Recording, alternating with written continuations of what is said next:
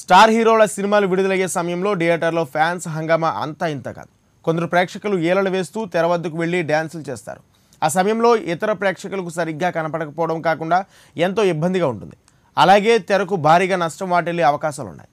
ఇటీవల రాధేశ్యాం సినిమాను విడుదల రోజున అభిమానులు హీరో కనిపించగానే తెరపై పాలాభిషేకం చేసి కలకలం రేపారు. దీంతో తెరకు మరకలు పడి తెర పాడైంది.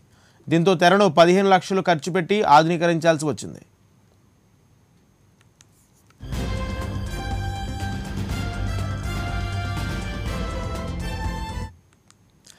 అయితే ఈ నేపథ్యంలో రేపు ట్రిపుల్ ఆర్ రిలీజ్ సందర్భంగా విజయవాడలోని అన్నపూర్ణ థియేటర్ యాజమాన్యం వినూత్నంగా ఆలోచించింది.